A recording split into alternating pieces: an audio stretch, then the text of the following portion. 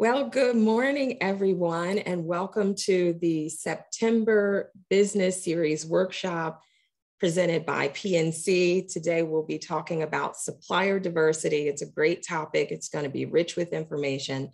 So I thank all of you for joining us this morning um, and being part of this discussion. And I know in the last business series in October and um, August, I was talking about pumpkin spice coffee, and I think it was a little too soon for everybody then. Um, but now I have bought pumpkin spice coffee. I've even bought a couple of blazers and sweaters from downtown businesses for fall, and I actually saw the first autumn leaves falling in the yard. So in a week we'll be into to to the the autumn season. So happy fall, y'all. Um, and again, thanks for, for joining us this morning. Before we get started, I just wanted to um, talk about a couple housekeeping items, as they say. So all of your lines will be muted um, for this um, presentation for the workshop, but you can put um, questions in the chat or in the Q&A um, at any point and we'll make sure that we get to those, those questions and comments. We'll save time at the end of the presentation to, to go through those questions. Um, and also just a reminder that the presentation will be available online later today. So look for an email um, from downtownyorkpa.com. We'll have the presentation. We also have some resources that our presenters um, are providing that we'll share in that email as well, and a link to the recording. So if you want to watch it again or share it with others in your network, um, it'll be available online this afternoon. So again, thank you for joining us and a, a, a special thank you to PNC, our presenting sponsor, for making all of this content available throughout the year. And with us today, we have Kimmy Lay. She's Vice President, Branch and Business Center Manager for PNC's West Manchester branch location. And we asked Kimmy to join us and just provide a few welcome remarks. Thank you for joining us. Good morning, Kimmy. Good morning, Elaine. Good morning, everyone. Happy fall. Happy Wednesday. Um, thank you for the introduction. Um, as Elaine said, I am the business banker, banking center manager um, of the West Manchester branch located right over here on Kenneth Road. Uh, with being a part of the PNC retail banking team in York, I am especially proud to have PNC serve as a sponsor for the Small Business Series in partnership with the York County Economic Alliance and Downtown Inc. PNC is a Main Street bank, which means we combine the knowledge, insight, and strategy of a local banking team with the strength, resources, and technology of one of the country's largest diversified financial institutions. PNC's hyper-local philosophy not only influences how we serve our clients, it also drives the way we show up for our communities where we live and work. Thank you for having me today. I look forward to today's conversation. Yes, and thank you so much, Kimmy, for joining us. I'm looking forward to this conversation as well, for sure. Um, and I, I, guess I want to start with giving everyone a little background on um, why we decided to, to have this as part of the business series this morning. It's something that um, I have been wanting to discuss, oh gosh, for over a year now, because I just see these burgeoning opportunities um, for our small businesses. And so when I reached out to our speakers, um, who I'll introduce in a moment, um, Ginger Bosworth and uh, Myneca Ojo, um, and they gave me a little preview of what they would be discussing.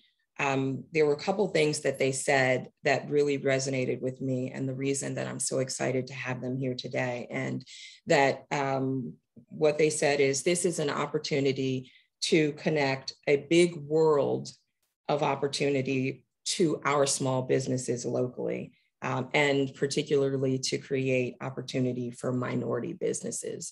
So we'll be talking about supplier diversity from the standpoint of one, why should you be interested in becoming a, a diverse supplier? Um, what does that mean for you and your business? What are the opportunities that exist, whether they are in the private sector um, or, or government at the local or federal level?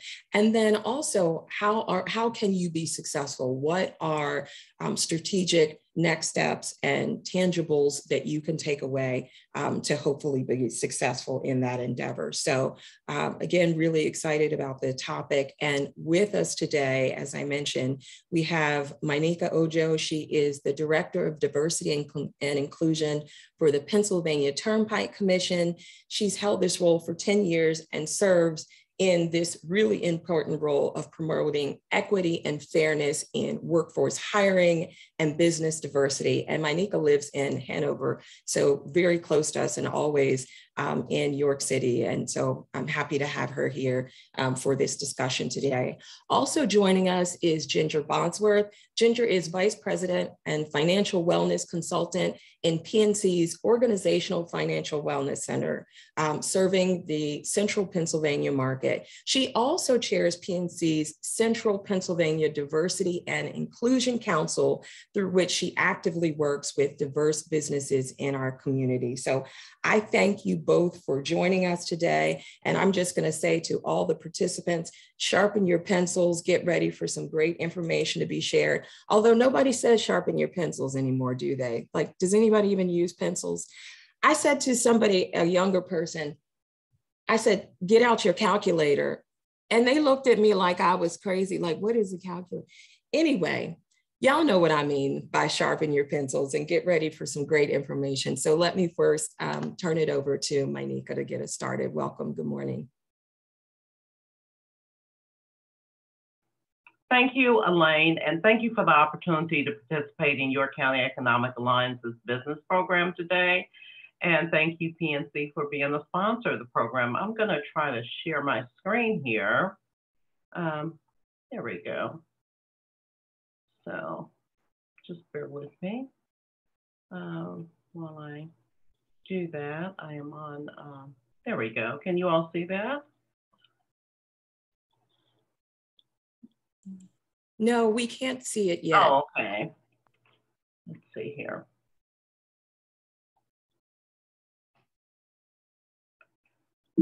One moment.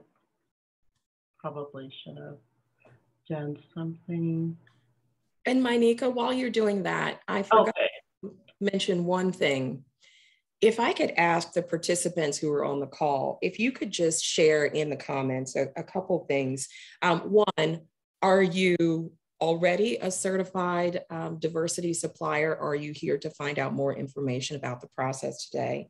Also, what type of business um, do you represent? Um, is it a service provider? Um, you make a product? um, so that we can just tailor the information for you specifically. And also, um, are there any specific takeaways that you would like to us to share with you? And I do see your screen coming up. I saw briefly the presentation. Oh, okay, Ben. Just as I was probably closing it out, open it up. Let me just reopen that again. Okay, how about okay. that? Are we good to go? Yes. Mm -hmm. Okay, thank you. Thank you. Yeah, I'm having, um, I have a Mac, so I've had some problems trying to initiate my screen. But first of all, I want to, um, again, thank you for the opportunity to participate. I apologize for the, um, you know, for the technical difficulties there. But it's important for me to really talk to you all today about the Pennsylvania Turnpike Commission because interesting enough, I've not really had an opportunity to do much engagement in the York community regarding the opportunities that we have at the Pennsylvania Turnpike Commission. So this is a wonderful uh, way for us to engage you and also to share something that's very important to us. Most of the Pennsylvania Turnpike Commission uh, extends uh, through the center, uh, east, east-west portion of the state. But although our central office is located in uh, Dauphin County, actually the majority of our roadway in that area, only two miles of it actually goes through Dauphin County. And we actually have 11 miles of roadway that actually uh, focuses, uh, that goes through York County. So that's just an interesting fact. So although we're only 25 to 30 minutes away from York City, uh, we do have a significant portion of the roadway that services York. So we utilize York as a way to um, engage people in employment opportunities, and hopefully we'll be able to engage you in business and supplier diversity as well by introducing you to, to what we do here at the Pennsylvania Turnpike Commission. So just to give you a brief uh, overview of what the Pennsylvania Turnpike Commission does, we are America's first superhighway. We are the first toll road in the country. We're considered the granddaddy, the numero uno. We're also one of the largest turnpikes in the country and also in the world, spanning 50, 552 miles across Pennsylvania. Uh, our system operates 17 toll plazas. We have 27 maintenance facilities, and we have 1,000 employees and 68 toll plazas. So just to give you some uh, information on tolling, tolling, uh, we are the only toll road in Pennsylvania, and we are exclusive in, in that regard. But tolling, um, the industry of tolling itself is used as alternative way to fund highway development and also to move inter interstate commerce throughout the country. And so the use of tolling is a central component to our nation's transportation funding. We are also, although we are a quasi-state agency, uh, the Pennsylvania Turnpike Commission is mandated by the legislature to not accept any state funding for a roadway. So what that means is, is that while we follow some of the public procurement processes, with regards to it, we are not allowed by law to take money from the state budget. So that means that our budget is separate from the governor's budget. So oftentimes we rely strongly on toll funding to support the maintenance of the roadways. So anytime you're riding on that roadway and you see some construction going on, you know that we were responsible, that you are actually funding that process. So it's a user, um, it's a usury system that we use. And it's important to note that because tolling industry is very different in terms of uh, what you see with the Department of Transportation, even though we use some of the same procurement processes. Our, our, our commitment also is to increase mobility and get drivers to where they want to go and to do that in a seamless manner. If you've been on the tollway, you know that it's uh, it's designed to move fast and to prevent you from not having any hiccups in traveling without by the elimination of lights and uh, curvy roads. So that's some of our commitments. And so also with toll funding, we are not a, we're able to complete projects much faster due to the fact that we do not have to wait for rations from the government to proceed with projects or sections of the project. So just to um, reinforce some of the insurances and public trust, again, I mentioned earlier that our funding source is not through state funding or state taxes, but it's through toll and usury funds. Uh, but we do follow some of the procurement practices and some of the uh, assurances that the government follow with regards to public work and the sector. And so I note here several things that really support diversity, equity, and inclusion uh, and also the importance of having agencies, public agencies, and also quasi-public agencies. And so those assurances really speak to the fact that it's important as a state entity that we support human capital and human employment uh, within the Pennsylvania uh, state, within the Commonwealth of Pennsylvania and that we support the disadvantaged Pennsylvania workers. And that falls under the Pennsylvania Project Independence Act. Uh, we also have an assurance that uh, we are committed to favor public interest against private interest, that we are to support uh, in the aggregate the interest of the public sector, and that means all the citizens of the Commonwealth.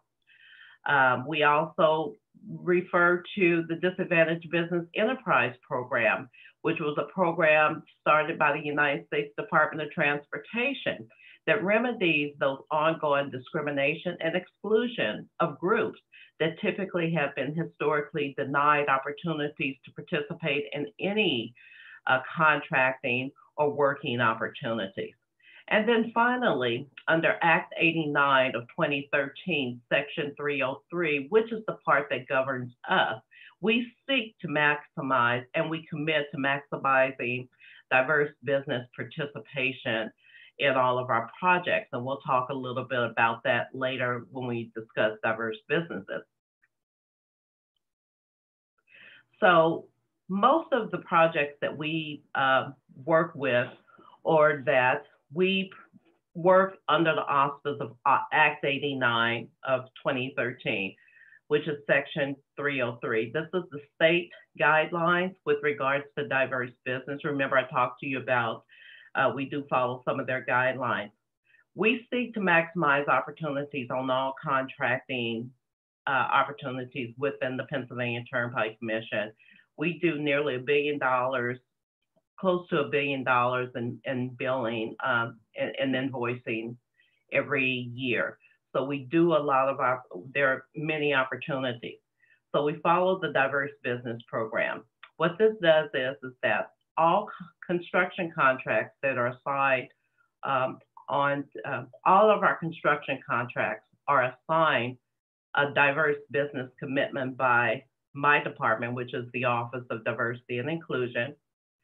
Uh, the bulk of our contracting is for the maintaining of the roadway. So 95% of construction projects have diverse business participation levels, which simply means that every single contract that comes through our office, we assign a diverse business participation goal to those contracts. We do the same also for our engineering contracts. We also do that for our vertical contracts, which is our construction contracts where we're building uh, maintenance facilities or, um, or even travel plazas or uh, salt sheds across the system. So all construction contracts that have general construction, plumbing, and electrical opportunities, all of those are assigned a 10% goal uh, with regards to diverse business participation. I'll explain to you who is considered a diverse business and who has who's certified to, to meet that criteria. Uh, we also do the same for our information technology. Uh, we now have seen, um, as many of you know, in the last year, our system has gone all electronic tolling. And so with the result of that, we've seen a significant increase in, um, in uh, of contracting within the information technology sector, specifically to support our back office, which is the customer service aspect. So you'll see a lot of that coming up through the turnpike as well. Uh, to fund those roads, we also seek opportunities to uh, to put out bonds, to issue bonds. So we do a lot of financial services works where we um, also now require diverse business participation on that as well. So here are some of the contracting opportunities that we typically have available. Uh, heavy highway construction and design build. Again, bulk of our road, we have 552 miles of roadway, so we're constantly doing work to maintain bridges and, and ensure that there's seamless opportunities for travel and that there's smooth travel opportunities. Uh, engineering design, uh, construction design, construction inspection. We also do small procurements. Those are those small office supplies. We, we do that and um, job order contracts, which I talked about, the building of facilities, information, technology, and financial services. Okay, so these are some of the certifications that are accepted by 99.5% of all the projects on uh, the Pennsylvania Turnpike Commission. And the importance of certification is, is that for larger businesses to utilize you as subcontractors and to be counted for uh, counted uh, toward either the RFP or the bid. Uh, they must utilize firms that are certified with the Pennsylvania uh, Unified Certification Program. the Small Business Administration 8A certification program, which is a program that typically is for 10 years once you're certified for it. The United States Department of Veteran Affairs certification program and the, and the Service Disabled Veterans uh, Business um, Affairs program. We accept both those certification toward certification purposes. The National Minority Supplier Development Council, which is, um, that could be from any of their uh, subsidiaries in this particular part of the, uh, in this particular part of the country, is the Eastern Area Minority Supplier Development Council and the Women's Business Enterprise National Council. That's also a national program as well. So those are all the certifications that we accept uh, on our projects uh, to count them toward diverse business participation on all those goals that we meet.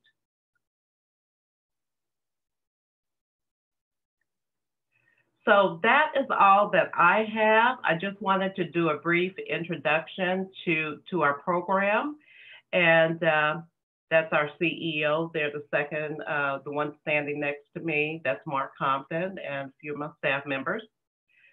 So um, again, if you have any questions or concerns, uh, please contact me. This is my contact information. I'll also place some information into the chat, uh, a couple of links that will link you to our website and provide you with additional information on our business supplier diversity program. Thank you for the opportunity to present this.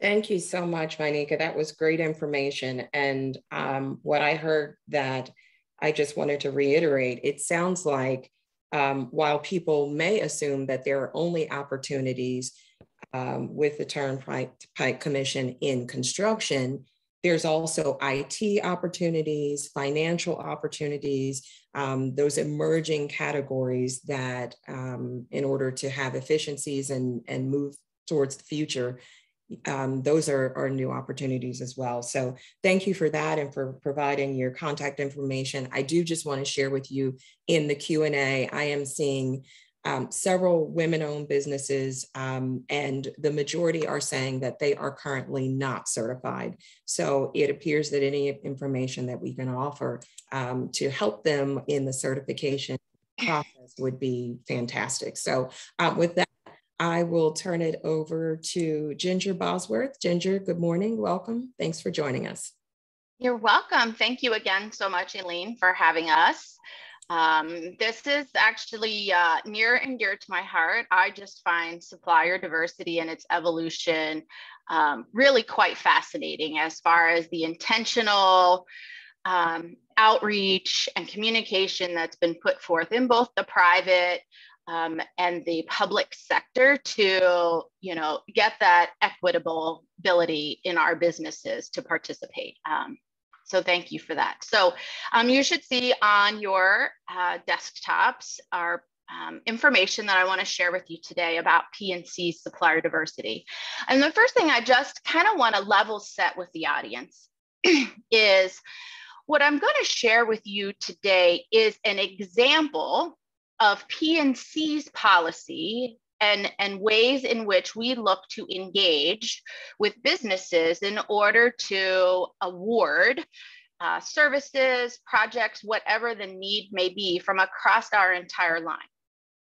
And what I'm really hoping the audience takes away today from this is this is unique to PNC but typically, most large public corporations are operating in a similar model. So there is due diligence required to kind of figure out each industry's specific process. Um, but we really just kind of wanted to showcase uh, as a demonstration specifically, you know, our process. Uh, and things to consider that that we would look for. Um, and the other thing I will just recommend in general to the audience is any public uh, company, when you go to their website, if you simply in their search bar type in supplier diversity, it will typically take you to their policy, their procedure, um, and the ways in which they look to engage as well. Um, you, you should be able to find all of that information or at least um, a contact, et cetera. So with that, we'll get into um, PNC's definition and process of supplier diversity. So next slide, please.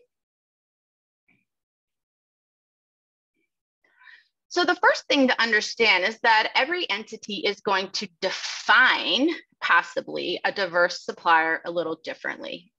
From PNC's perspective, um, first of all, it's a proactive and intentional business practice that we do, providing that fair opportunity to compete. And for our specific requirements, it's 51% ownership operated and controlled by an individual that meets one or more of the defined diverse classifications, which you will see to the right. Minority and small businesses are defined such as African American, Hispanic American, Asian Pacific American, Asian Indian American, or Alaska Natives. A small business is defined by the Small Business Administration. So we um, typically like to follow SBA guidelines from uh, for consistency purposes, right? So your first step is to understand the definition and think about how are you um, organized in terms of your um, your business articles. Next. So some of our specific details. Um, within the PNC organization, supplier diversity sits within supply chain and it aligns directly with our strategic sourcing. So at PNC, its policy is to be intentional about supplier diversity when purchasing those goods and services. So um, much like my colleague was referencing the policies that the PA Turnpike um, has put in place, so too has PNC, for example, on how that specific selection process um, and the vetting goes intentional inclusion of at least one program supplier when PNC is competitively bidding for its products and services, qualified program suppliers should be given fair consideration. And just as an idea from a spend perspective, in 2020, PNC spent approximately 360 million with the small and diverse segment across our um, PNC footprint, which again kind of alludes to in Kimmy's introduction, that small town or main street bank philosophy uh, for PNC with engaging in our local communities with the support and the technology um, of, of a national bank. Next.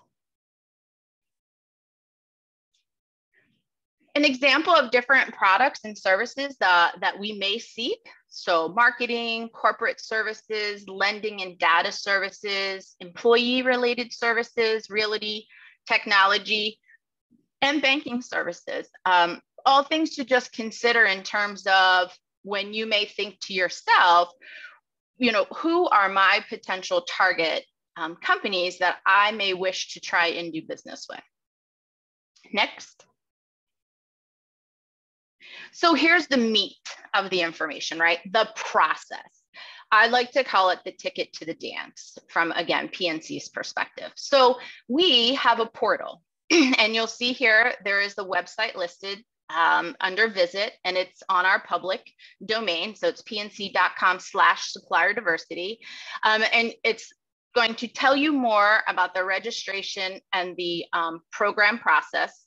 And so why should you consider registering? So you will be contacted if and when a sourcing opportunity aligns with your profile information, and then you'll be notified of events or development opportunities that may be of interest to you and your company um, for a future state.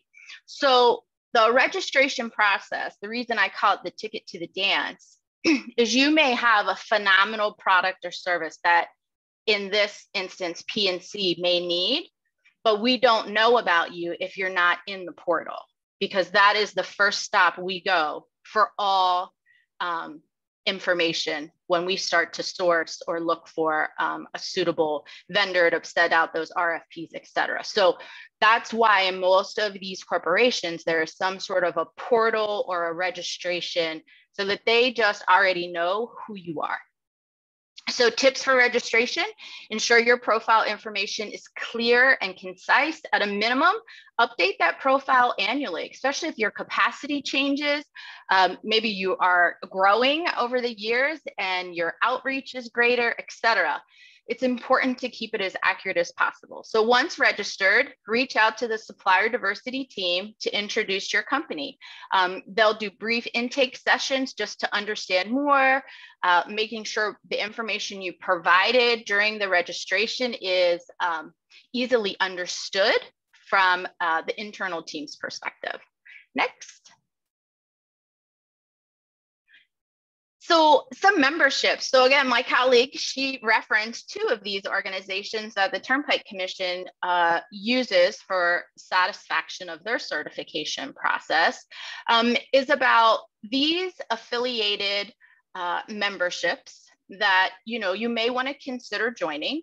Uh, they specifically have the diverse I should say, supplier um, process to become a certified supplier.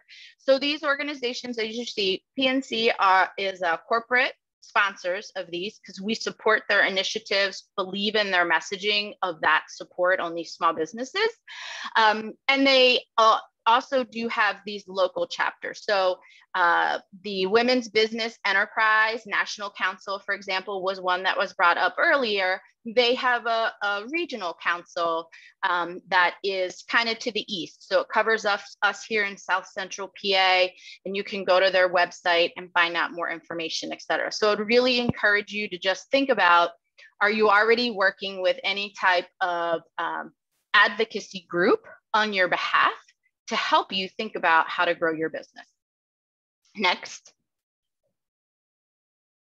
So how best to engage? So again, I talked about due diligence. It's doing your homework, coming to the table, understanding where you may fit into the organization, and be sure to effectively communicate your company's value add. Being concise be specific. Don't feel you need to be the Jill of all trades. Highlighting the areas where you have expertise and experience will help us to connect you to the appropriate opportunities and internal stakeholders. And really managing the expectations. So understand that your product or service offering may not be a fit. Be open to indirect opportunities. Know that PNC does not guarantee business uh, to diverse owned businesses or customers. It, it's a process, is it still about the best fit uh, for what the need is that we're looking to fulfill. Uh, but when we talk about indirect opportunities, it's a concept, uh, again, I just wanna share. So you may have again that phenomenal service and that specific expertise um, but there may be that recommendation from pnc that your service also could fit under the umbrella uh, of, a, of a larger vendor or supplier that we do business with? And would you consider being paired with them as a secondary supplier? Um, so, again, it's still a way to get you there. Uh, it's still a way to get you uh, you know the business that you're looking for and be open to those suggestions uh, from any organization that may want to you know provide that advice to you. Next. So specifically for pnc again we talked about the supplier diversity department um, questions that you may have the fielding. This is their web this is um, their direct email, supplierdiversity at pnc.com, and again, where to find us on the website. I, I have provided to um, Elaine in the group afterwards. I believe it'll be posted somewhere. We do have a um, specific flyer with all of this contact information and process that will be uh, available for you later today. And so with that, I'll turn it back to you, Elaine. Thank you so much.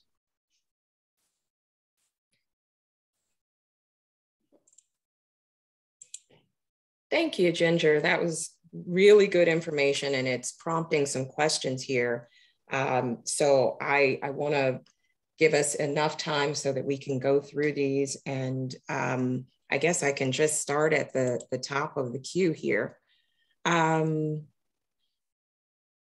this question is for both uh, PNC and for the Turnpike. Do you do any procurement in the creative arts industry? For example, purchase of fine art or other related services? So again, I would say when you're dealing in such a large entity, um, such as PNC, I myself don't have that specific answer. That's why we always will direct all of those questions to the supplier diversity email, but also again, that registration, because perhaps it's not a direct purchase, but there may be a larger entity that we do business with that you could be recommended to partner with them that they may want to purchase your goods on their behalf.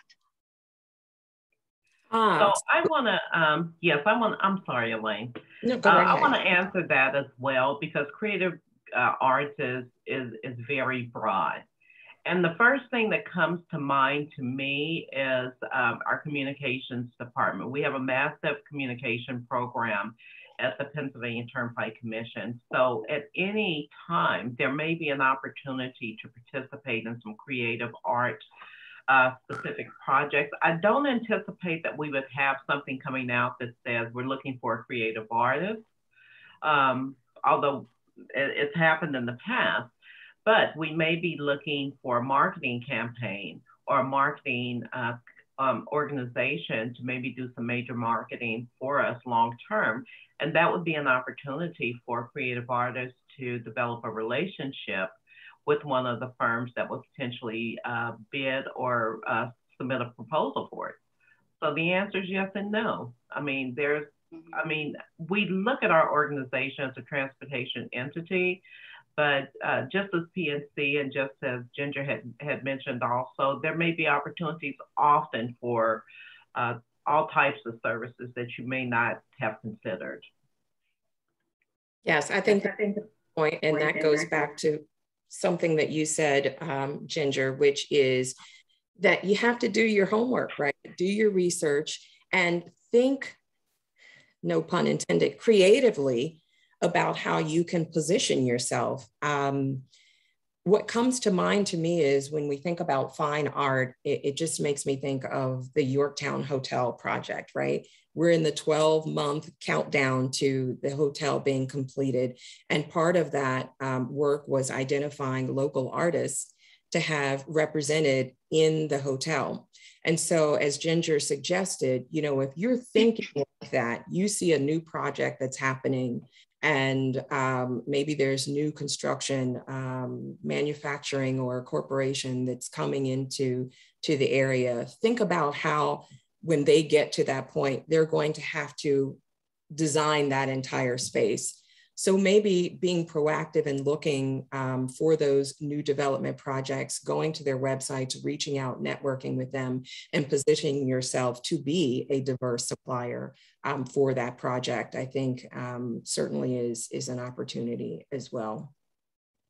And, and the only other thing, right, to, to understand the size sometimes if you're looking to engage you know for very large companies um, again, kind of the reason why you're seeing this portal process to get information in there and ready at hand.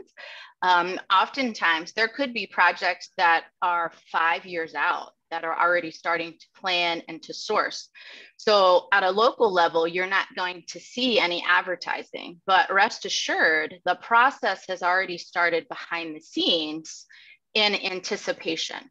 Um, so yes, there can be those shorter terms where you start to see it visually happening by signage, perhaps in your market, but there also could be things that are gonna happen that you don't know about to the public, which is why it's just so important, again, when you think about how do I just get my information out there, even if it, you feel as though there is that radio silence because you're hoping for a response in 30 days, 90 days, I think it's the realistic expectations. It could be four years and, until we find a fit, but you're still in there.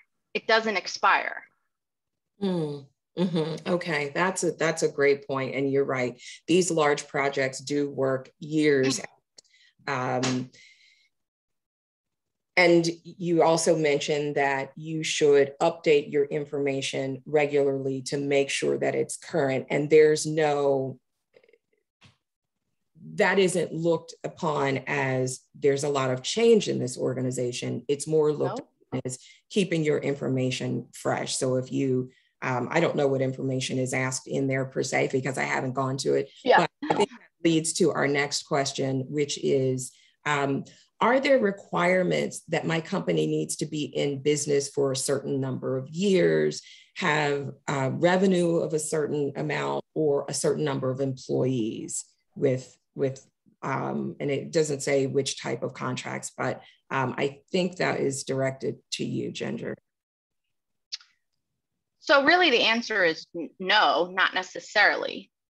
Again, it the each company's portal or process is going to indicate their specific requirements, very similar to Myneca um, when you're in the, um, you know, the state, the local, or the federal space. They're, they're going to be very specific. So you, again, your information that you kind of put together, your, your paperwork, your documentation, it is not going to be a one size fits all um, submission that's going to meet the requests of all the businesses that you are, you know, wooing to want to do business with. Everyone is going to have their own unique stipulations, requirements, and, and that's really just, again, that kind of due diligence process. You can have the, the fundamental basics, but each one is going to be a little different.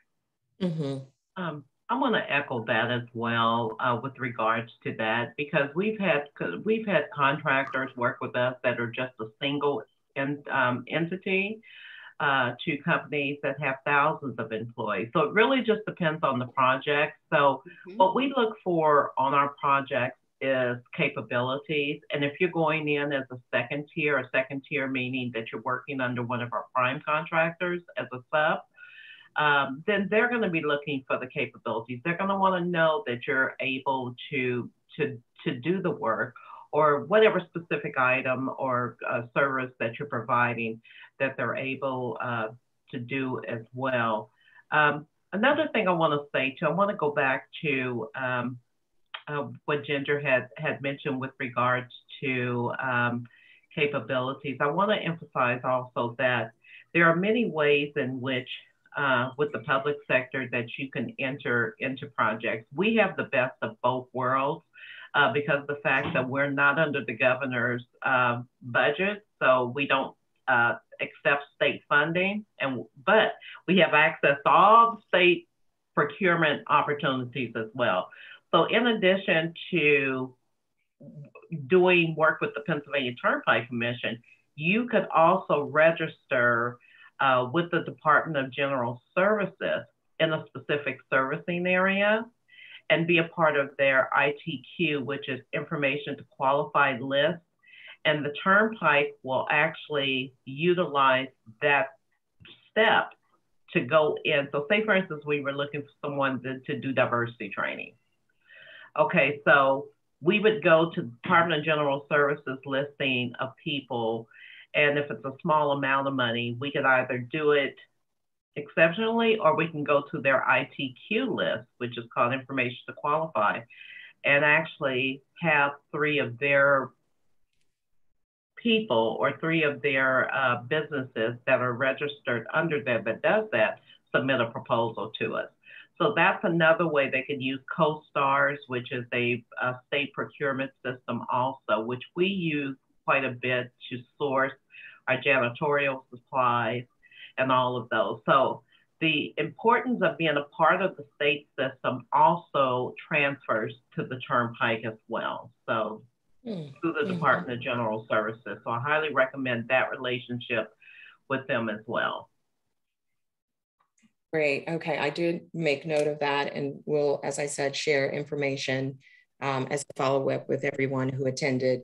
Um, Myneca, I'm not sure that you can answer this this question firsthand, but since you just referenced the state system, maybe you'll know based on um, your experience working with diverse suppliers.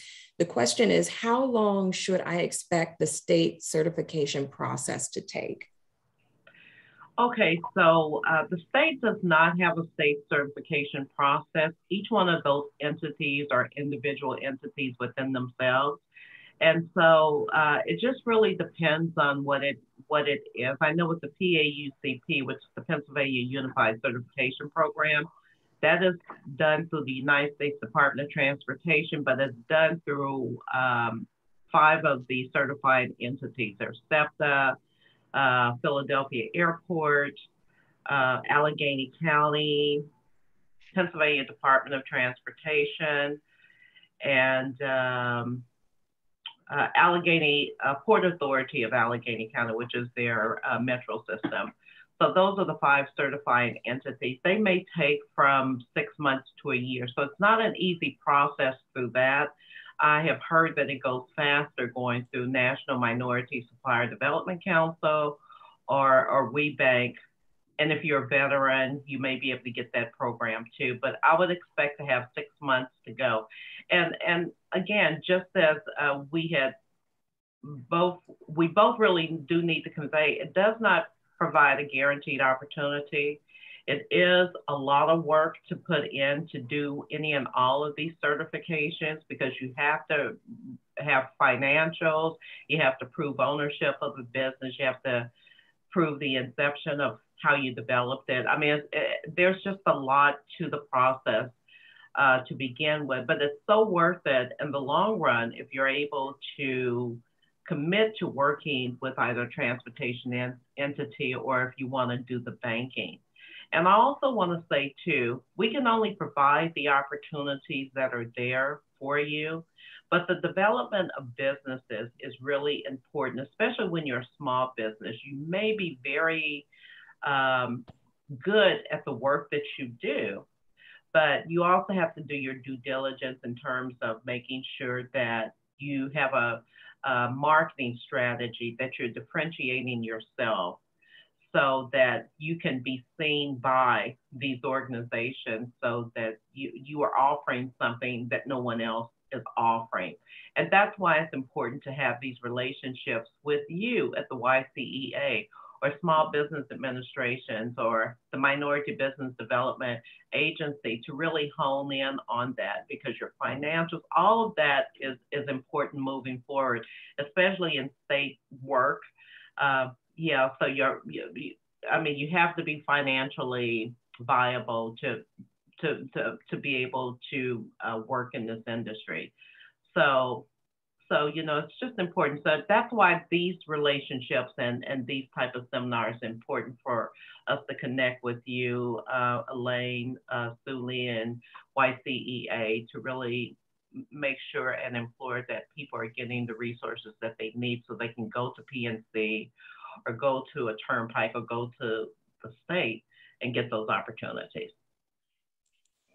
And I thank you for for mentioning that, and I thank you for your partnership because um, I believe that you know these kinds of conversations and discussions and platforms are what help people to get networked and to get the information that we need. And um, I just want to take a moment before I go to the next question to share with everyone, um, as Myneca said, you know that networking um, and those relationships are important. We are hosting through um, the York County Economic Alliance a Get Connected event. It will be in early December. Um, I will share more information about that um, in the, the coming days, but um, it's open to all businesses. It is focused on contracting, um, but but it's a networking event in general. So I would um, encourage and invite all of you to go to yceapa.org. We'll put that in the chat and sign up for the e-newsletter. And when you do that, those events that Myneca just mentioned, you will be among the first to know when the Get Connected event is, how to register, free event. You'll network with, with other people um, who both are suppliers, but also people who are seeking um, my businesses for procurement opportunities. So please don't miss that one. Um, and um, I guess I'll go to the next question um, and this is a follow up to what you were just speaking about, Myneca. I've had businesses say to me that they have been um, advised that they should hire someone to do these applications for them so that they're best positioned. I know this is somewhat perspective and personal opinion, but can you speak on that? So, okay, so this is my thought on it because there's probably a business out there that uh, acts as an agent. But if you think along these lines here, you're completing an application. The greater part of what you will be doing in the application process is gathering the documents, right?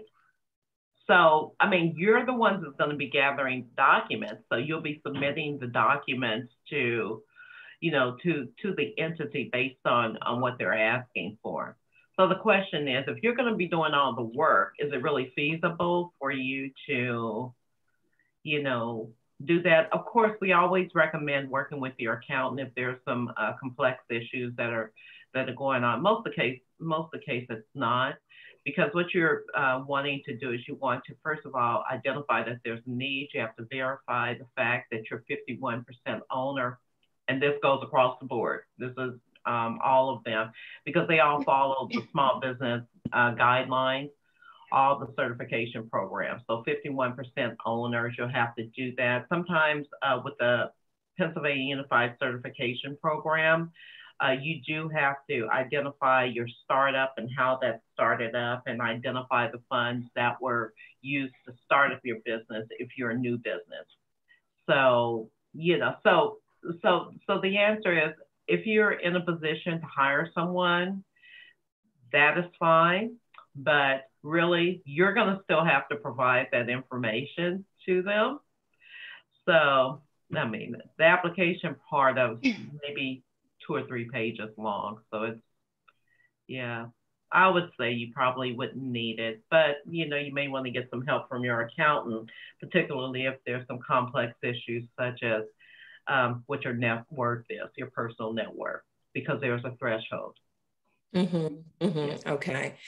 I guess I think uh, of it along the, I'm sorry, go right ahead, Jen. No, no, no. I was just, I agree with you, Myneca. When you think yeah. about cost allocation and you know fair value exchange in time for convenience is i would just challenge the thought to think about then why you know it could be very beneficial in joining one of these organizations that are highly reputable um, such as uh, the WEBEC for women business ownership, the National Minority Council, our local chapter, the Eastern, um, even things such as the NGLCC, which is the National Gay and um, Lesbian Chamber. There's a local council called Keystone. Um, you know, their specific process is across the board to help you as a small business. And from a corporation perspective, the reason why PNC as a whole on the national lev- level contributes um, and supports these organizations is because if you think bigger and a bigger concept, we want to help the organizations provide accurate information to their members. Right. And so that's why um, folks on our supplier diversity team meet regularly with the national conference because it's all about communication of processes accurately to their members. So there is a cost, right? These organizations aren't free memberships, but I guess I would think what's the value in the greater scheme that I may get in joining an organization? Because even think beyond supplier diversity. There are things where they probably are going to advise you in legal matters, uh, advise you in HR matters if you have one or more employees. It's just uh, I I strongly am an advocate that any small business should be a part, even in at least in the beginning, um, of some sort of an organization, such as YCEA, um, just to take as much out of it as you can put into it to, to help you on that path versus the funding or the cost for one specific process, right? Yes, I agree with you wholeheartedly. I think with those memberships. And I, I thought about it from my time um, being a business owner. it's an investment in yourself, right? It's one time, you know, you check this off the list. It's it's more of a long-term um, return on an investment with some of these uh, memberships. And so we did add in the chat um, the website for uh, York County Economic Alliance. You can go there, find some of the resources that have been referenced, um, sign up for the e-newsletter. And also, we're going to share the list of the organizations that you mentioned. We're not specifically endorsing or recommending any of them. Nope. You have to look at it and see what makes the most sense for you, your business, your product and service, and go from there. Um, we running close on time. So let me just get through a couple more questions. This one is Would you consider it beneficial to market or advertise that my business utilizes minority owned vendors? and how how what's the the way or place to do that mm, advertise in terms of uh, it just says market or advertise so i don't know if um, the attendee is asking are there benefits from the standpoint of this looks like a question more from the standpoint of someone who is on the procurement side of it. What are the benefits to my business to to market that i utilize diverse suppliers? Well i okay yeah let me just uh, take a stab at this because one of the things i i think it's important uh, just as uh, pnc and many organizations have um, that are in the private sector um, have an assurance they have a, a uh, corporate uh, social responsibility to support not only uh, what's happening in the environment, but also to to to really re-engage their um, procurement, uh, you know, their uh, procurements, and you know, are they really reaching and connecting to the communities that they serve through all aspects, whether it be hiring or contracting. Uh, it would be the same with um, us as well. We're a little bit, we are required by, you know, state law to to to do this, you know, to to engage in the process because again, it, it goes back to those assurances that why do we as a public or quasi-public entity exist if not to support the people in the Commonwealth of Pennsylvania? And that means that you don't exclude anyone from the process. And so oftentimes you have to look at ways in which we can re-engage with our communities by looking at historical practices that did exclude people. So um, the answer is yes.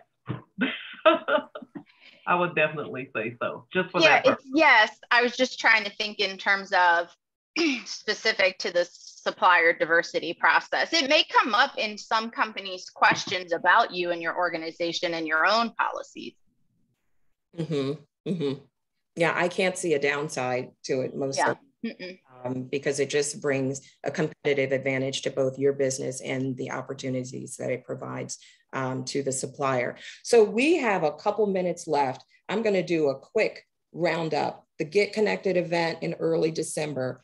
Um, the Women's Business Center organization also has a women-owned businesses um, forum on October 12th at the Wyndham. So there are a lot of women owned businesses on workshop. So please consider joining that. The YCL, YCEA also has Bloom Small Business Development classes 101 for new and growing businesses. It's free to sign up for those classes. The next class starts October 7th and it goes through November 11th. And I would encourage all of you to please take a look at that. Um, and I'm going to give the floor to you ladies last. And I will just ask you this is a tough one to summarize, but if somebody like, yes, I'm ready to get started, most of the businesses are not currently certified based on the survey. Can you give me three things? And I think I know what they are three things that they should do, next steps to get certified. So number one, I would say pull your documentation. Start pulling your business um, articles, whatever your formation is. Does it indicate your ownership 51%? Um, your your banking financials. Start getting those documents together, and then think about.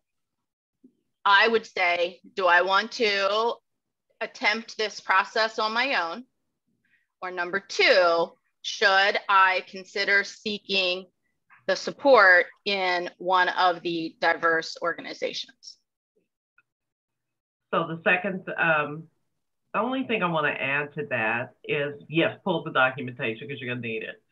But uh, there are also additional resources. The Pennsylvania Unified Certification Program is a free certification. It is a more mm-hmm. lengthy process, but they also have additional assistance as well through the Disadvantaged Business Enterprise Supportive Services Program, which is with PennDOT.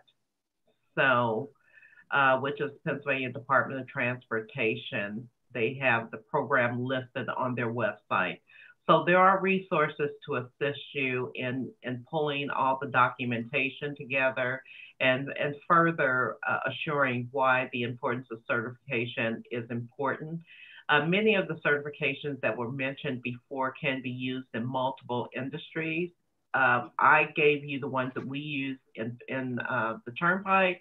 Um, Ginger had additional ones that could be used throughout. It would be an added advantage if you are looking to seek, if you're really dil diligently looking to seek opportunities in your space.